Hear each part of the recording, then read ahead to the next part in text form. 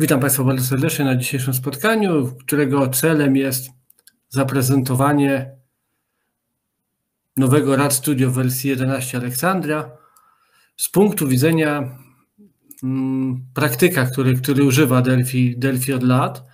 Jeżeli są Państwo zainteresowani takim mm, webinarem, który jakby był wprowadzeniem i zaprezentowaniem tak bardziej ogólnie e, tego środowiska, to, to zachęcam do odwiedzenia strony embarcadero.com. Tam jest taka zakładka blogs. Jak się wejdzie na blogi w embarcadero.com, to, to jest pierwsze odtworzenie webinaru, który był 9 września. My tutaj razem z, Zdzisławem Sroczyńskim zajmiemy się, czy prędzej Zdzisław się zajmie pokazaniem Państwu, jak to Delphi teraz wygląda, co można z nim zrobić, czego możemy oczekiwać. Y, standardowo y, proszę zadawać pytania na, na, na czacie. W, w drugiej części eventu postaramy się odpowiedzieć na część z nich, może no pewnie, może na wszystkie. Tak więc cóż nam zostaje? Myślę, że to będzie tyle, jeśli chodzi o tytułem wstępu, bo, bo nie po to tu jesteśmy, żeby mnie tutaj słuchać, tylko kogoś z większą wiedzą merytoryczną. Tak więc oddaję, że tak musi powiedzieć, mikrofon do, do Zdziśka i, i zapraszam na prezentację. Dziękuję bardzo.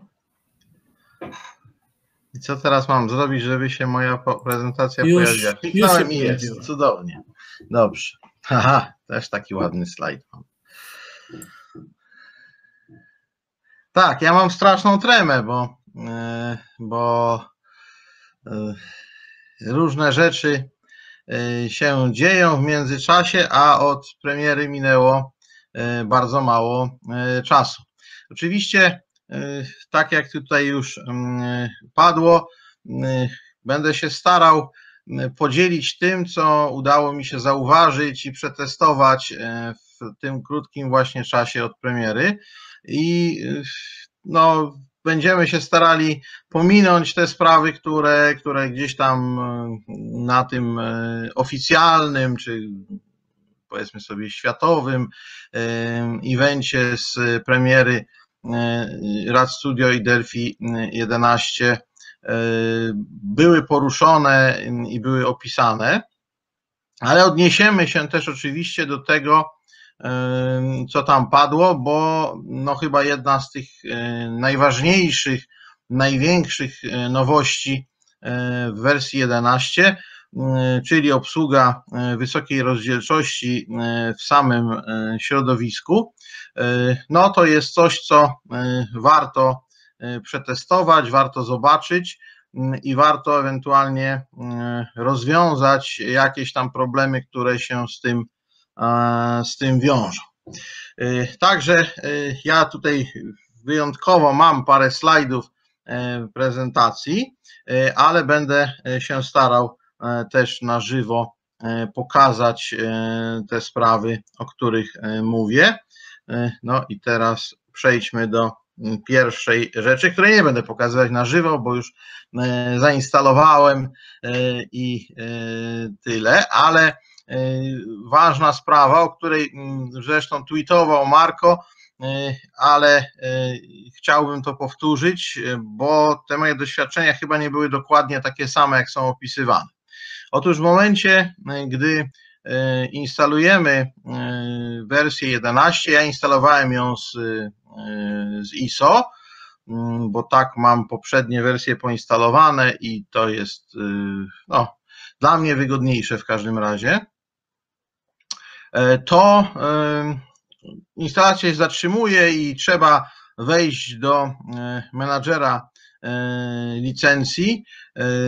Tam jest w trakcie instalacji możliwość, żeby to zrobić i oficjalna podpowiedź jest taka, żeby nacisnąć update. Faktycznie jak się naciśnie update, to u mnie, gdzie ja mam wersję professional, pojawiło się Delphi Alexandria Professional, kropka. No więc ja się ucieszyłem i pobiegłem dalej. E, nawet zacząłem e, pewne jakieś tam sobie testy robić. Oglądałem te, te piękne, ostre czcionki e, w IDE i byłem prawie w niebie, aż spróbowałem cośkolwiek z aplikacjami mobilnymi zrobić. Wtedy się okazało, że nie mam takich platform. No więc wszedłem z powrotem do tego okienka, gdzie się konfiguruje platformy, ale tam one zaznaczone są i zainstalowane są. No, okazuje się, że ta licencja Alexandra Professional jednak istnieje i ona może być bez tego with mobile. Co zrobiłem? Wszedłem z zimną krwią do menadżera licencji, usunąłem tą licencję całkowicie i zarejestrowałem ją jeszcze raz. Od razu odpowiem na potencjalne pytanie. Nie wiem, czy to zwiększa licznik instalacji, czy nie. Całkiem możliwe, że tak.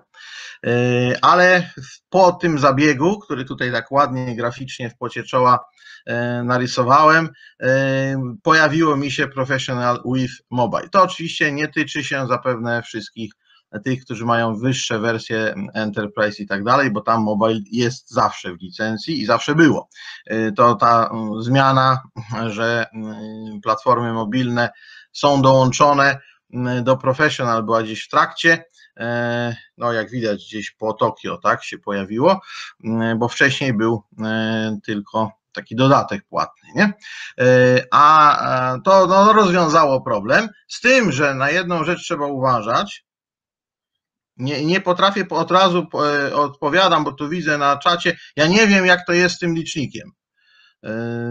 Ja nie, nie, potrafię na to pytanie odpowiedzieć. Nie spotkałem się, raz miałem problem z licznikiem e, dla e, widocznego tutaj zresztą e, Delphi wersji XE2, które mam na osobnej licencji i dlatego jest osobno też zainstalowane, ale no został on podniesiony, kropka. Po weekendzie już miałem wyzerowany czy zmniejszony, nie wiem jak to nazwać. Natomiast z tymi wyższymi wersjami nigdy nie doszedłem do, do limitu. Dobra. To, co jest ważne, to jest to, że w momencie, gdy przez przypadek właśnie no, aktywowałem taką wersję bez tej, bez tej opcji with mobile, to z pliku projektu zniknęły tak jakby wszystkie te ustawienia, one są przy, pewnie przy zapisywaniu, y, kasowane, usuwane i w związku z tym wszystko, co miałem tam y, w deployment na przykład popisane dla tych projektów i tak dalej, i tak dalej, no zostało usunięte, w związku z tym dodanie tej platformie mobilnej to byłoby trochę pracy. Oczywiście otworzyłem sobie gdzieś z boku, przepraszam, z kopii zapasowej i tyle. E, no i potem już otwarcie pliku e, projektu, który mm, był zrobiony w poprzedniej wersji jako aplikacja mobilna, e, w Alexandria już działa poprawnie, jeżeli ta licencja jest with mobile. Tak, no to dużo gadania o drobiazgu, ale żeby się ktoś o to przypadkiem nie potknął mm, i całkiem możliwe, że to zostanie w jakiejś tam perspektywie krótkiej poprawione. Druga rzecz, która jest związana z instalacją, którą e, zauważyłem, no i nie tylko ja, e, bo jest do tego ticket na Quality Central, to jest e, to, że pliki pomocy, przepraszam, muszę się przepłukać, bo coś mnie.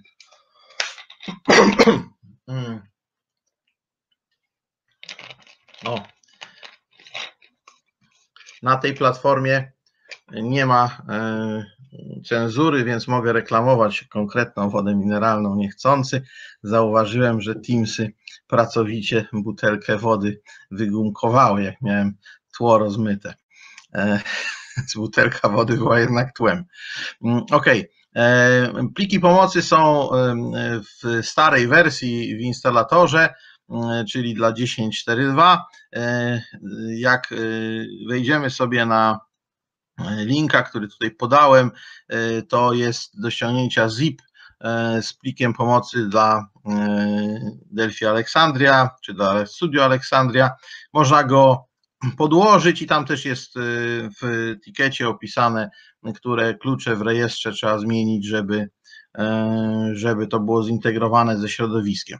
Nie chcę tutaj wchodzić w dyskusję, czy to jest lepszy plik, czy gorszy, bo on jest zintegrowany do jednego CHM-a i to tam nie zawsze mi się podoba, jak on, jak on wyświetla te tematy, ale różnice nie są wielkie, więc w sumie, jeżeli ktoś tam nie szuka całkiem jakichś detali związanych z Aleksandria, i nie przeszkadza mu to, że nie jest napisane, że IDE jest w HDPI, to myślę, że to można e, nawet nie robić tego, tej aktualizacji plików pomocy. Ona pewnie e, albo z jakimś fixem, albo z następną wersją małą i tak zostanie zintegrowana i tak. No to tyle, jeśli chodzi o samą instalację. Teraz drugi i chyba najważniejszy temat chociaż to oczywiście jest e, z punktu widzenia czystego programowania e, i efektu końcowego no nie aż tak istotne, ale z punktu widzenia komfortu pracy to naprawdę jest fajne, chociaż nie jestem pewien, czy, czy na, tutaj na Click Meeting będzie to widoczne aż tak bardzo, no ale jak sobie zainstalujemy i będziemy używać jakiegoś ekranu o, o wysokiej rozdzielczości, w szczególności ekranów 4K, to na pewno jest e, dramatyczna różnica in plus.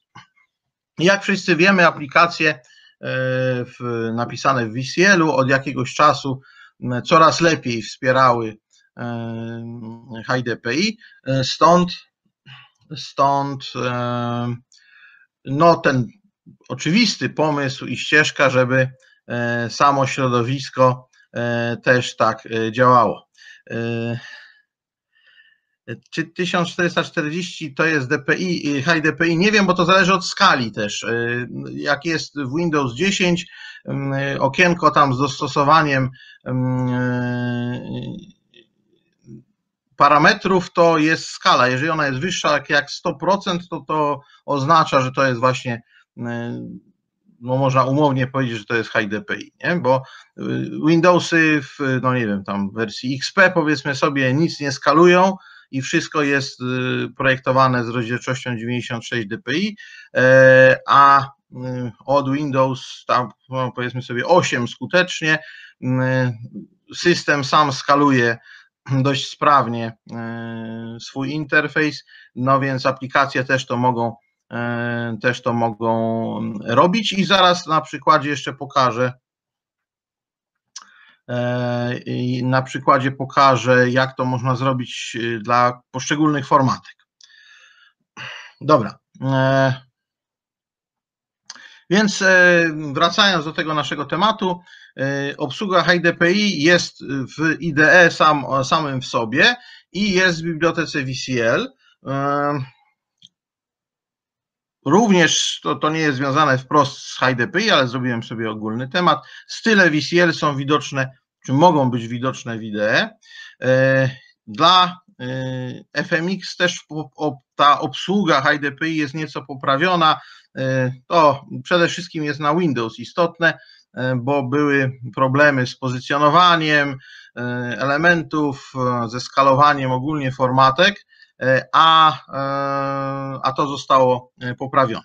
No i jest też nowy widok startowy, który nie jest HTML-owy, tylko jest kontrolką, kontrolką natywną, powiedzmy sobie, Rad Studio. To taki drobiazg, ale, ale konfigurowalny, ładnie wygląda i myślę, że w miarę wygodny. Dobra, to tyle tytułem wstępu. Tutaj jest ten E, znany z prezentacji e, prezentacji Embarcadero e, screen, który sobie zaraz zobaczymy. No i teraz jak to wygląda od strony praktycznej. Ja może ten slajd omówię, a potem przejdę do demonstracji, bo nie ćwiczyłem jeszcze sytuacji, w której tutaj na zmianę udostępniam ekran, a potem to wyłączam, więc zobaczymy jak to wyjdzie. Otóż w opcjach środowiska możemy sobie ustawić, tu jest cała ścieżka widoczna, więc User Interface, Form Designer, High DPI i tam sobie można ustawić Automatic i to jest wersja, która dla monitora, który ma no, większą rozdzielczość, właśnie ustawi taki parametr pixels per inch, jaki jest w tym monitorze i w Windowsach ustawionych, oczywiście zgodnie z nim, no, właściwy, można ustawić stałą wartość albo, albo low DPI i wtedy to jest 96 ppi. U mnie na ekranie 4K wychodzi, że ta, roz, ta rozdzielczość jest 240 ppi, a skala jest 2,5, tak? 250%. Bo od 96 250% to wychodzi 240. No i teraz e, e, jak to wygląda? Otóż jeżeli projektujemy, e, to oczywiście to oczywiście mm, projektant pokaże nam przeliczone współrzędne i okienko będzie większe, a domyślnie jest ustawione 96 ppi low, w związku z tym dostaniemy takie okienecko wielkości znaczka pocztowego. No i e, e, to e, będzie jakiś tam problem, więc jeżeli sobie zmienię tą rozdzielczość, to zostanie ona przeliczona. Ale uwaga, jeżeli już ustawimy zwiększoną rozdzielczość dla danego projektu, to przynajmniej w tej chwili nie można w bezpieczny sposób E, wrócić, przestawiając z powrotem na low DPI. Proszę tego unikać. E, dlaczego? Zaraz się e, to okaże. Jeszcze jedna uwaga, żeby projektant zapisał formatkę, żeby ją przeliczył, to trzeba ją pokazać, więc trzeba sobie przy dużym projekcie to może być jakiś tam rebus, szczególnie jeśli się zmniejszy tą rozdzielczość, bo wtedy to nie, na pewno nie następuje automatycznie, więc muszę to przeklikać wszystko. E, I teraz e, schody, mianowicie jeżeli e, zmniejszę tą rozdzielczość i z powrotem ją zwiększę, to się okaże, że rozmiary kontrolek, które są położone, zagnieżdżone, będą nienaturalnie powiększone, po prostu nie, nie, nie są one zmniejszane przy redukcji rozdzielczości. Tak samo się dzieje, jeżeli aplikacja, która jest zaprojektowana e, w e, wysokiej rozdzielczości, czyli w moim przypadku na przykład w tym 240 ppi, zostanie uruchomiona e, no, na komputerze, który nie ma wysokiej rozdzielczości, albo z ustawieniem, że tej wysokiej rozdzielczości nie używa, czyli tam DPI Awareness None na przykład. Do tego jest e, na Quality Central e, ticket i jest e, poprawka, którą zaraz pokażę. I ona rozwiązuje problem aplikacji w runtime, no ale siłą rzeczy nie rozwiązuje problemu aplikacji, znaczy w sensie IDE, bo trzeba, było, trzeba je będzie przekompilować pewnie i poprawka do tego ma być na dniach dostępna, na dniach, no, w najbliższym czasie to nie oczywiście ja obiecuję, tylko z zasłyszanych e, informacji. Tam są trzy takie etykiety konkretnie. Ten, który e, ja zgłosiłem w przypływie odwagi, to jest ten z poprawką, a do dwóch pozostałych podlinkowałem, więc można sobie tam zerknąć, co się dzieje w tej sprawie. No i jest jeszcze jedna rzecz, mianowicie jeżeli y, ten kod jest generowany, y, generowany, znaczy widok jest generowany w kodzie, tak chciałem powiedzieć, to można manipulować tym, czy formatka y, jest w wysokiej rozdzielczości, czy nie, odpowiednio ustawiając flagę w tutaj wskazanej set, thread, DPI, awareness, context funkcji Windows API. E, I to e, też e, zaraz,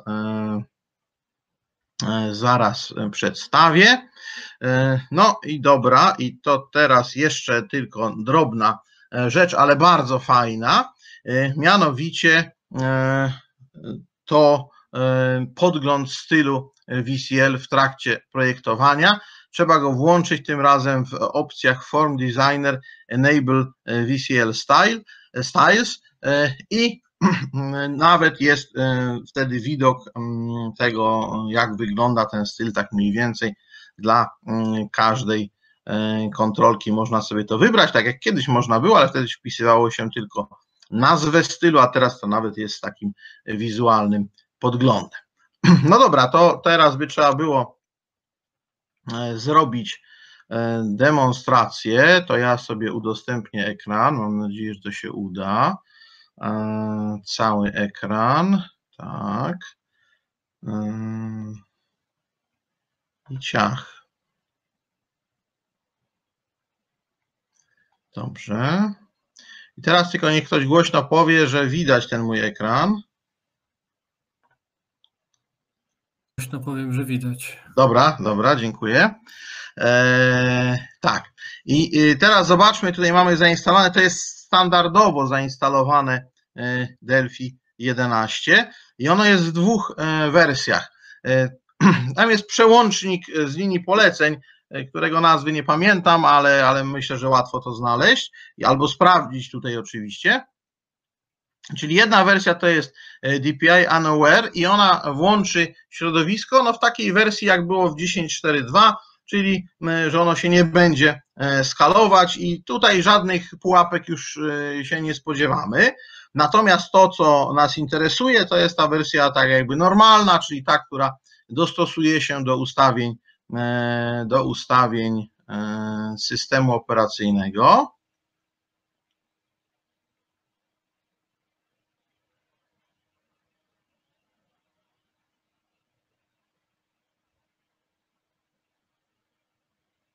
Jak się nie nagrywa, to mam wrażenie, że jakoś szybciej to idzie. OK.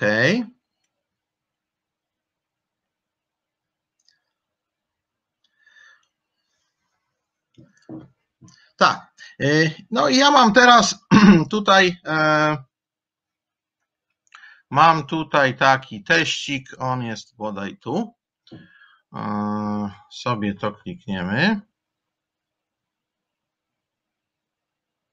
To jest przeraźliwie brzydka formatka, na której nic się nie dzieje kompletnie, e, tylko są różne kontrolki e, porozrzucane, e, więc tutaj jest jakiś scrollbox, na którym leży baton, tu po prawej stronie jest panel, na którym leżą też checkbox i baton i jest jakiś page control z, jed, z dwoma tapsheetami, na jednym z nich leży baton. teraz Zobaczmy najpierw, jak to funkcjonuje, e, jak wszystko jest standardowo poustawiane, czyli sprawdzę sobie, e, sprawdzę sobie, e, tutaj powinno być per monitor V2, ciach i no i mam włączone HDP i to widać, bo inaczej ta ta formatka byłaby mikropi. Tak jest e, ustawione e, automatycznie. Dobrze, no to teraz mogę sobie e, uruchomić. Aha, jeszcze nie, bo mogę. Tak.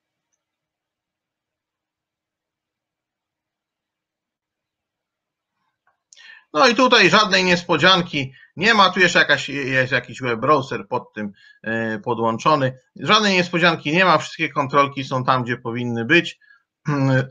Wszystko jest w porządku. E, no, można się przyczepić tych ikonek na nawigatorze, że one są za małe, ale no to już e, nie doszedłem, albo tak ma być, nie będę się teraz sprzeczać. Tutaj co do zasady jest dobrze, ale E, teraz chciałbym e, pokazać e, to, tylko muszę najpierw wyłączyć sobie tą poprawkę, więc tak przestawię na szybko. I na wszelki wypadek przebudujemy. Dobra. Sprawdzę, czy ten plik się zmienił, czy coś tam nie pokręciłem. Nie, 12.28, wszystko jest dobrze. Dobra. No i dalam. Yy, aplikacja się uruchomiła, jest w porządku. No teraz yy, zrobimy tak, że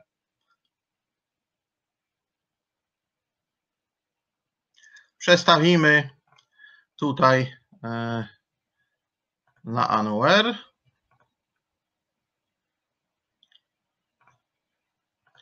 I oto już mamy taki efekt jak na załączonym obrazku. Tak, czyli widać, że ten baton, ten baton checkboxa w ogóle nie widać, e, bo on tutaj gdzieś się przepadł, a na tapszicie baton zniknął, bo jest gdzieś tutaj prawdopodobnie, tak, po prawej stronie, nie przeskalował się. O ironio, te batony, które tutaj leżą, się przeskanowały, tu jest wszystko w porządku, co nam e, sugeruje, że być może wiemy, gdzie jest problem.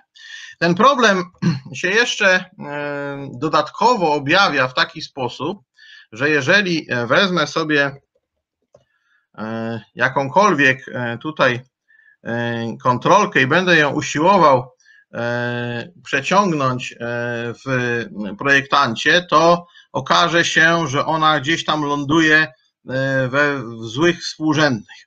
No i to y, można y, jedynie pominąć na razie w taki sposób, żeby sobie, żeby sobie to tak jakby ręcznie najpierw wrzucić na formę, bo na formie skalowanie i przeliczanie współrzędnych jest poprawne, a potem wrzucić na właściwą kontrolkę, korzystając z widoku struktury. Ja wiem, że to jest uciążliwe, ale można założyć, że ten ten problem zostanie szybko e, poprawiony. Więc samo w sobie to, jak to działa, to jest fajne e, tutaj e, rozwiązane, ponieważ zawsze dostajemy pixel perfect te nasze projekty i dla formatki możemy zobaczyć, że dla mojej formatki tu są rozmiary, a tu jest zapisana wartość pixels per inch właśnie te 240 ale e, dla na przykład o batona, który sobie leży na tej formatce, już nie jest zapisywana ta wartość pixels per inch, czyli nie jest tak, że każda kontrolka może być zapisywana z własnymi parametrami. No i w efekcie właśnie e, musi to być brane od strony formatki, a nie od strony pojedynczej kontrolki. Gdyby każda kontrolka pamiętała E, te swoje e, ustawienia, no to myślę, że problem byłby mniejszy, bo ona by się mogła łatwo przeskalować. Ale tu mamy taki, takie rozwiązanie, że e, tylko formatka pamięta, w jakiej rozdzielczości była projektowana. Teraz jeszcze, co bym sobie mógł zrobić tutaj za problem? Mógłbym sobie właśnie zrobić tak, że bym w tym tutaj ustawieniu zmienił sobie na 96 ppi. Pozornie wygląda wszystko dobrze. Jak sobie zamknę i otworzę moją formatkę, no to niestety wtedy widać, że dzieje się dokładnie to, czego się bałem i co mi się pojawiło w runtime, tak? Czyli się te, te kontrolki przeskalowały. No i niestety y, to jest y, problem, na to trzeba uważać, na to zwracam uwagę, bo nic mi nie pomoże, jak sobie teraz to przeskaluję z powrotem, tak? Już y, te kontrolki, które nie leżą na, bezpośrednio na formatce, one zostaną, bo ten rozmiar się nie przeliczy, tak? Nie przeliczy się sam. Ja teraz tutaj sobie zrobię sprytne sprytny powrót. Mam tutaj taką kopię, z której można zaczerpnąć.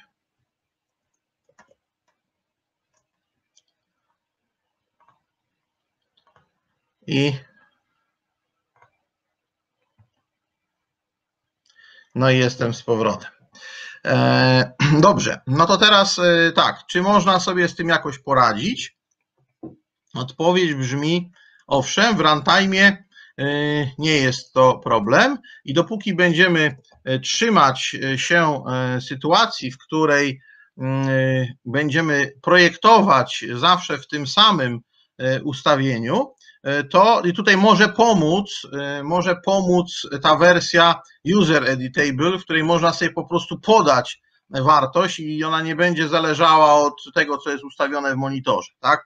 Czyli ustawimy dla wszystkich 240, no to e, ci na niskiej rozdzielczości będą mieli co najwyżej dużo do przesuwania, ale będzie to spójne. Natomiast co zrobić, żeby e, w runtime, jeśli no, komputer nie spełnia tego wymogu wysokiej rozdzielczości, żeby się przeliczyło e, poprawnie? To mam tutaj ten pas gdzieś otwarty.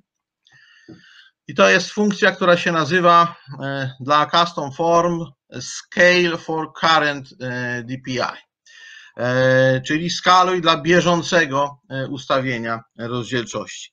No i tu główny kod jest taki, że iterujemy po wszystkich kontrolkach, no i dla tych kontrolek jest wbudowana tam gdzieś metoda change scale, która oczywiście działa poprawnie, bo w górę skaluje, tak, natomiast y, no, zabrakło tego, czyli wykonania dokładnie takiej samej pętli dla wszystkich kolejnych zagnieżdżonych kontrolek, tak. No i tutaj dopisałem taką procedurkę, którą wykonujemy rekurencyjnie i nie wiem, być może to się da jakoś lepiej zoptymalizować, ale ona przynajmniej działa, tak? To znaczy znowuż po wszystkich, po wszystkich kontrolkach, które leżą sobie na tej naszej wybranej, znowuż je skalujemy, no i rekurencyjnie wywołujemy i tak dalej, i tak dalej. No, sprawdzając, czy są tam jakieś kontrolki w liczbie większej niż 0. No jeżeli nie, no to nie ma problemu, bo to znaczy, że już doszliśmy do końca tego drzewka. Nie? No i to tak oczywiście można się zastanawiać, czy to nie będzie mm, kosztowne, ale jakoś to trzeba zrobić, ponieważ albo trzeba byłoby pamiętać formatkę każdej rozdzielczości zaprojektowaną, no albo trzeba przeliczać. Jeżeli trzeba przeliczać, to niestety, ale trzeba przeliczać wszystko, a nie tylko to, co leży bezpośrednio na e, głównym formularzu. Nie? Więc tutaj to, to, to rekurencyjne podejście no to jest takie najprostsze, ale chyba też jedyne, które można, e, można e, zastosować. Chyba, że jest jakieś ograniczenie zupełnie takie znane wszystkim, że więcej niż ileś zagnieżdżeń nie może być, ale nie sądzę. W związku z tym no, to jest jedyne E, co tutaj mi przyszło do głowy. No, przyszło do głowy i, e, i przynajmniej e, funkcjonuje, tylko jeszcze nie przebudowałem, to przebudujemy. Tak się tam skompilowało. No i teraz oczywiście będziemy mieli tutaj, to jeszcze w projekcie, sprawdźmy. To może nie być widoczne, ale ja chcę, żeby najpierw było pokazane, że w manifestie mamy unaware, czyli mimo tego, że formatka jest zaprojektowana z mm, och, tutaj to jest e, z pixels per inch 240, tak, to e, aplikacja uruchomiona w Low DPI poprawnie się teraz już skaluje i wszystkie elementy są w tych miejscach, w których być powinny, dodam. E, no i to e, rzecz jasna e, jest no, już rozwiązany problem w runtime, tylko trochę z projektowaniem trzeba uważać. Tutaj w projekcie zrobiłem jeszcze coś takiego, że ustawiłem właśnie, że ta formatka pierwsza mm,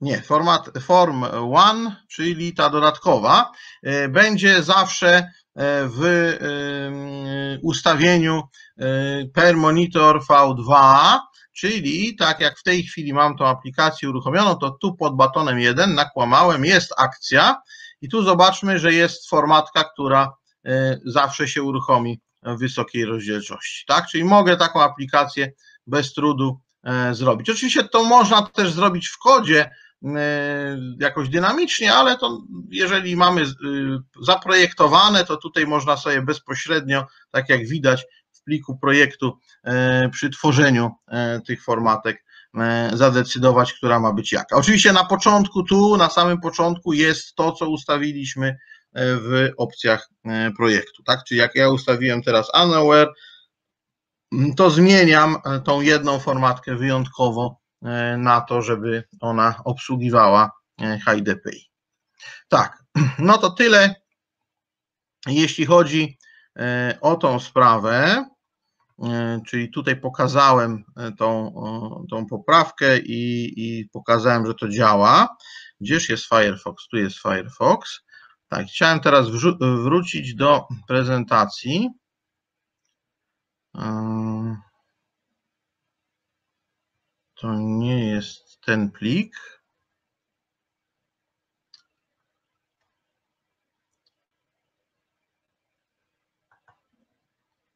Co powinienem zrobić, żeby pokazać ten poprzedni plik?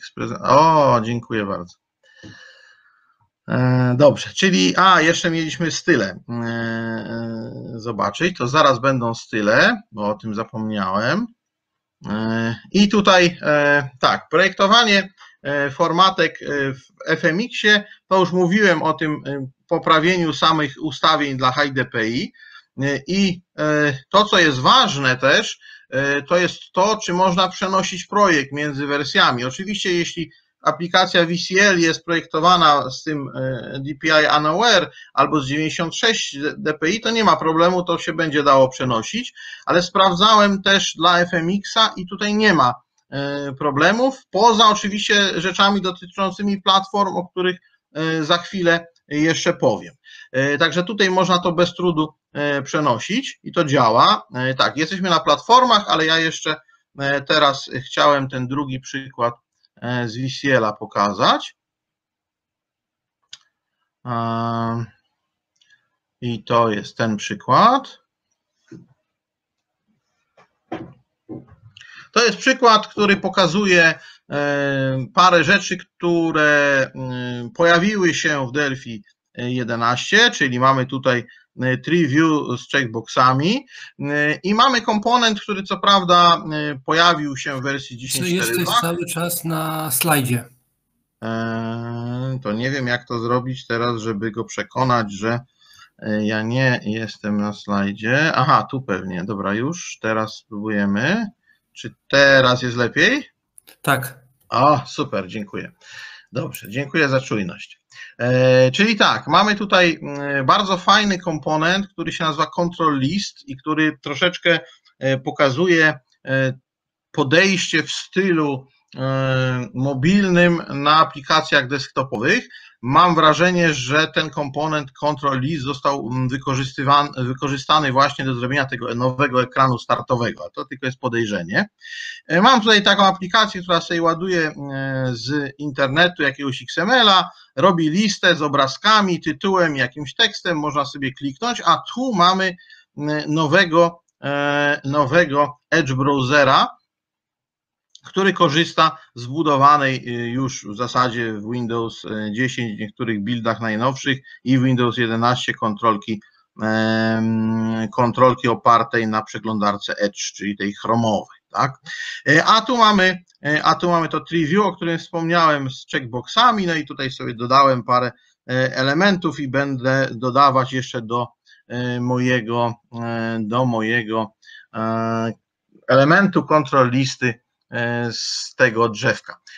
To jest o tyle fajne, że działa jak taki prototyp, czyli podobnie jak w projektancie na przykład Xcode'a dla list na iOS-a i na Maca tworzę pojedyncze y, kontrolki, czyli image, tutaj mam rozpisany label, y, drugi label, jakieś dwa batony, tylko batony to muszą być control list batony, dlatego że zwykły baton zostały po prostu powielony. To działa w ten sposób, ze względu na wydajność i bardzo słusznie, że tak jakby renderuje y, jeden wiersz tej kontrolki i potem podmienia dane, przechodzi do następnego i tak dalej, i tak dalej. Takie e, rozwiązanie w, w takim stylu, powiedzmy sobie, mobilno-javowym trochę. Ach, niech będzie. Ale to, co jest istotne, o czym tutaj mówiłem, to jest to, że podgląd tego stylu mam cały czas widoczny. Gdzie to było? To było tu, Enable VCA Styles. Tak? I co ważniejsze, działa to kompletnie, czyli mogę sobie zaznaczyć kontrolkę i i, i, i style name tutaj. Mogę sobie wybrać, o, którą, który styl dołączony do aplikacji e, mam ustawić. I to jest wizualizowane, no tak jak przy działającej aplikacji, włącznie, włącznie z belką tytułu, przyciskami i tak dalej, i tak dalej. E, sam, e, sama kontrolka Control List. Tutaj ma no chyba jeden tylko obsłużony, tak, jedno zdarzenie, Control List Before Draw Item. No i tutaj widać, że z jakiejś listy, którą, w której sobie przechowuję te elementy, tak, pobieram temat, komunikat i pobieram picture do mojego obrazka. I to powoduje, że on wie, że ity o a indeks element będzie teraz mi e, renderował, tak? E, no i to byłoby mm, tyle, jeśli chodzi o ten e, tutaj przykład. Spróbujmy go uruchomić. No i jest lista. Coś tu sobie powpisuję. Dodam z tego drzewka elementy. Dwa powinny być, ta Aleksandria i Sydney. E, C++ Builder. Wszystko się zgadza. Tak, tu mam jeden przycisk, który powoduje przejście do, no to będzie stary link, więc przerzucę na ofertę edukacyjną. No i widać, że tutaj ładnie e, Edge e, przeskalował e, w normalny, współczesny sposób stronę BSC Polska. Wszystko działa jak należy. No Internet Explorer oczywiście tego skutecznie zrobić nie może. Także tak to wygląda. Wizualizacja stylu VCL w trakcie projektowania no, wydaje mi się, że bardzo wygodna rzecz, szczególnie wtedy, jeśli zacznie się korzystać z tego, e, że e, jedne ikonki są jednym stylem, drugie innym, to żeby to jakoś poukładać sensownie i zobaczyć, czy, czy wszystko jest jak należy, to, to jest naprawdę no, genialny krok do przodu. Mm, I w, w połączeniu jeszcze z HDPI no, daje taki bardzo duży komfort pracy. Że nie wspomnę, nie, nie możemy sobie tego, prawda, podarować, że są piękne nowe ikonki, przynajmniej niektóre, e, to też e, jest e, ważne. Dobra, to teraz przejdziemy sobie do, do tych platform mobilnych. Nie wiem, co robię źle. A, dobra, już wiem, to trzeba klikać wielokrotnie. To mnie Click Meeting mm, teraz nauczyło. Dobrze. E, to przejdziemy teraz do platform mobilnych. I tutaj e, następujące uwagi i spostrzeżenia. Otóż tak, po pierwsze, jeśli chodzi w ogóle o platform, może nie mobilnych, jeśli chodzi o Windows, to już powiedziałem o, tej, o tym potencjalnym kłopocie z przenośnością projektu. Trzeba o tym pamiętać. E, natomiast jeśli chodzi o Androida, to na liście wspieranych, wspieranych wersji, tam się no, dla, dla Aleksandria pojawiło chyba od Androida 8 e, i no szczerze mówiąc to mnie trochę zaskoczyło, ponieważ no, mimo wszystko jeszcze są nawet w handlu urządzenia z Androidem 6. I tutaj jest taka dobra wiadomość, że no, sprawdziłem to, mam takiego telefona z szóstką i zasadniczo aplikacje skompilowane za pomocą Delphi Alexandria działają dokładnie tak samo jak te za pomocą 10.4.2. Trochę mi to czasu zajęło, bo trzy takie apki wrzucałem i no i taką, która coś tam robi z, z urządzeniami zewnętrznymi, z aparatem i taką, która z sieci korzysta, tą pogodynkę. No i wszystko tu funkcjonuje zupełnie identycznie, więc nie ma problemu. Jedyna rzecz, którą, o której trzeba pamiętać, to jest to, że trzeba po pierwsze w, wyrzucić Android Manifest Template XML. Jeżeli tam dokonaliśmy jakichś własnych zmian, to oczywiście je wprowadzić z powrotem, bo ten, struktura tego pliku się zmieniła zwyczajnie. Jeżeli otworzymy taki stary projekt albo nowy projekt do starego Delphi y, załadujemy, to trzeba zresetować biblioteki E, tu jest e, na podglądzie w tej chwili e, właśnie pokazane, tak, to się nazywa Revert System Files to Default, tak, i to trzeba zrobić i w jedną i w drugą stronę. No, jedyna zmiana, z którą się spotkałem, to jest niewielka zmiana w API przy Request Permissions, którą zaraz pokażę. No i to jeszcze, co fajne, że aplikacje działają E, pod y, symulatorem BlueStack e, w wersji piątej. E, to przetestowałem i działają. Nie upieram się, że one działają w, tylko w wersji Aleksandria, ale to takie moje najnowsze spostrzeżenie na marginesie. Nie miałem okazji testować dla Maca z procesorem M1, ponieważ nie posiadam takiego Maca, ale jak tylko będę miał, to wtedy chętnie E, się podzielę. Jest to w każdym razie jedna z e, bardzo ważnych nowości, bo oczywiście Apple mocno e, naciska na to, żeby no, aplikacje były zgodne z M1 i, i pewnie w jakiejś tam dość bliskiej przyszłości będzie w ogóle banować aplikacje, które tego warunku nie spełniają. Także to jest takie, taka konieczność. OK. E, to był ten slajd. E, tu jeszcze nowości w języku. E, no, T-Controlista pokazałem, TreeView pokazałem. Te rzeczy były omawiane na tej głównej prezentacji. Pojawiły się record, record helpers dla T-Date Time i T-Currency. No, takie fajne rozwiązania, ale tam w kodzie tego demka poprzedniego były wykorzystane łatwo można y, daty przetwarzać, ale to raczej taki cukier syntaktyczny. Mm, już mam dziękuję za uwagę, więc powinienem teraz przejść do Androida, a o iOSie jeszcze e, dwa słowa e, powiem. E, więc tak, to jest mój ekran teraz, już się nauczyłem i mamy tutaj najpierw tegoż BlueStacka i no to wezmę sobie pogodynkę.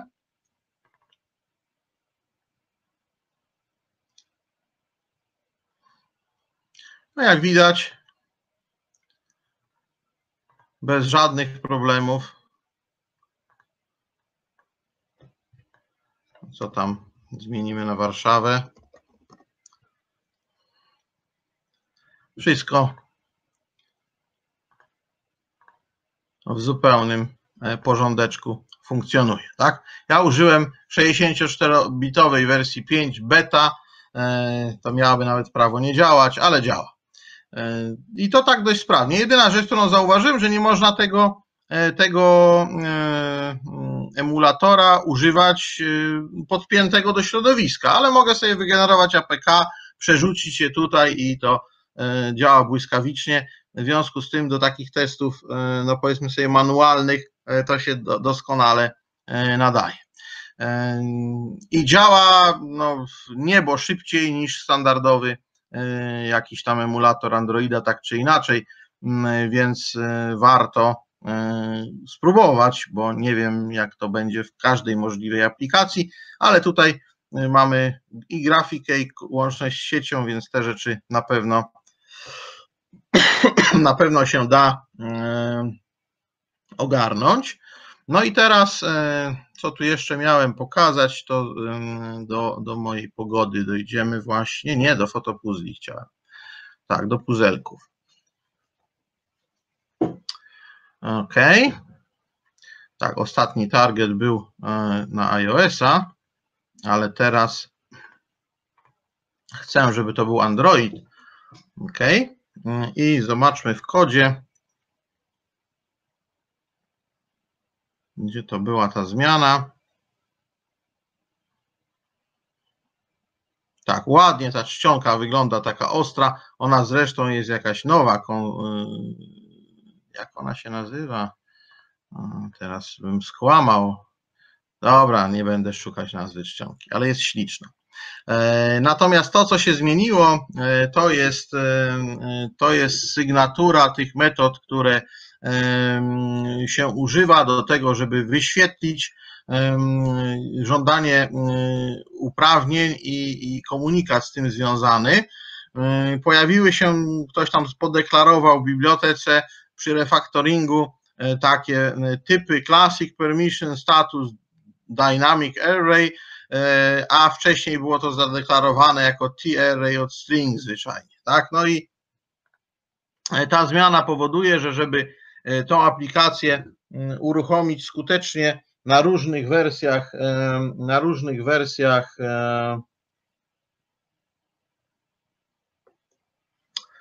Androida, to trzeba tutaj kompilacji warunkowej E, użyć. No jak to zrobiłem, to, to wszystko działa, ponieważ w treści i wykorzystaniu tych, tych parametrów to, to nic kompletnie się nie zmieniło, tylko trzeba sobie odpowiednio podeklarować i to jest cała e, tajemnica. No to e, cóż, aha, i tu miałem pokazać jeszcze to libraries, to jest tutaj, tylko tu już jest zmienione, więc nie mam po co wracać. I pamiętamy o tym, żeby manifest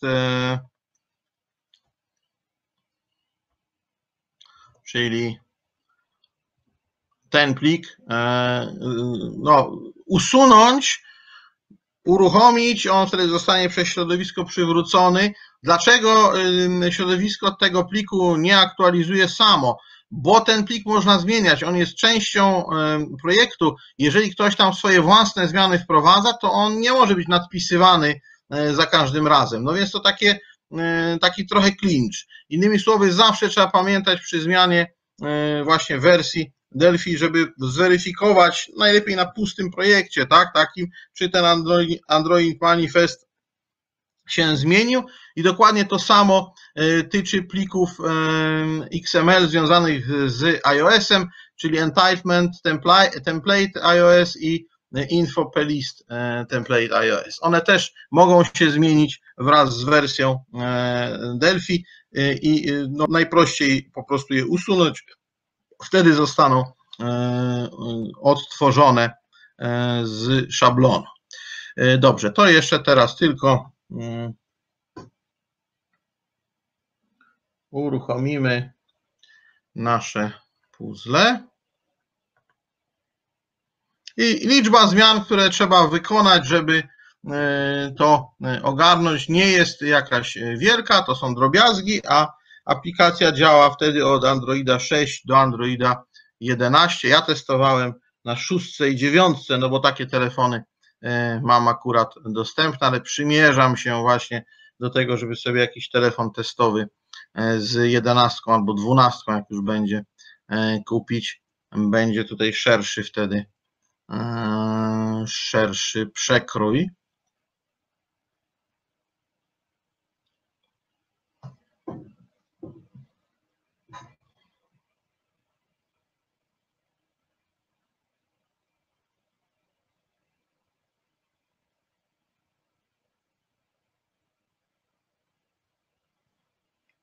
To troszkę trwa, ale mam takie wrażenie, że jest szybsze nieco e, te budowanie aplikacji niż było e, w poprzedniej wersji. Już aplikacja jest wysyłana do telefonu. O, e, tak, i pokazać jak to wygląda. To jest podgląd telefonu. No tam zmienimy sobie zdjęcie. Taki widoczek to trudne byłoby ułożyć. O. No i tak dalej, i tak dalej. Wszystko e, funkcjonuje bez żadnego e, problemu. Tak, i ostatnia, ostatnia uwaga na temat iOS-a, to jest nieuwzględnione w prezentacji, bo tak mi się nudziło rano, że jeszcze sobie zrobiłem testy z tym związane.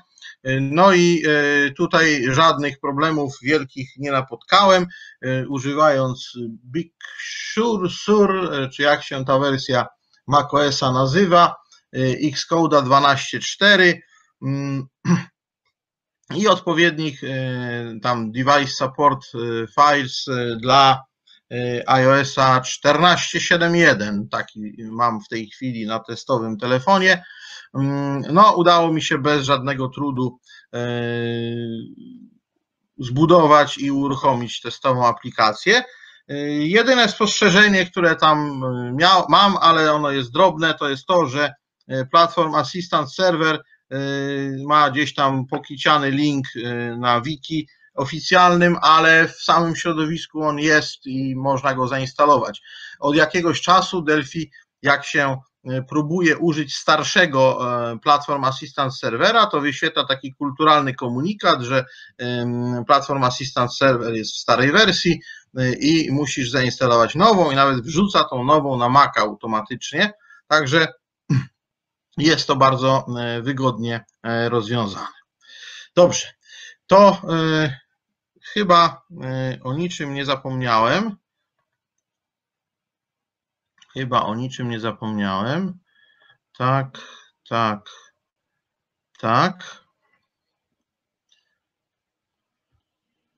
Tak, już mam, dziękuję za uwagę.